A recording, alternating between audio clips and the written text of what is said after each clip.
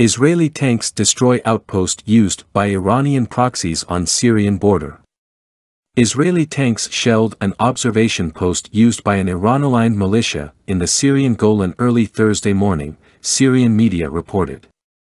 According to Syria's Enab Baladi outlet, the outpost near the village of Al-Qahtaniah in the Quneitra region was destroyed in the attack.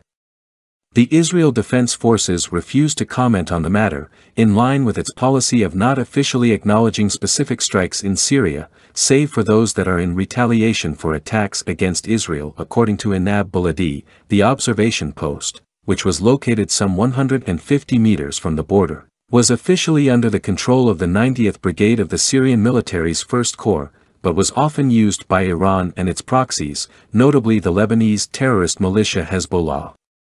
Israel has long maintained that this Syrian unit works closely with these Iranian-backed groups.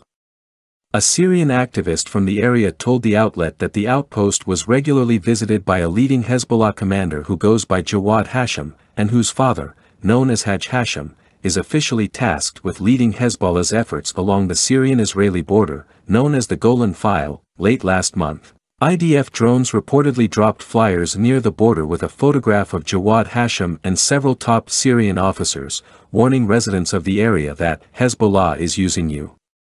In the past, such flyers have been dropped as warnings ahead of attacks on Hezbollah posts along the border. On June 1, the IDF said it destroyed another Syrian regime observation post that was established on the Israeli side of the buffer zone in the Golan Heights, the military destroyed a forward observation post of the Syrian army that was set up in an Israeli area west of the Alpha Line in the Golan Heights,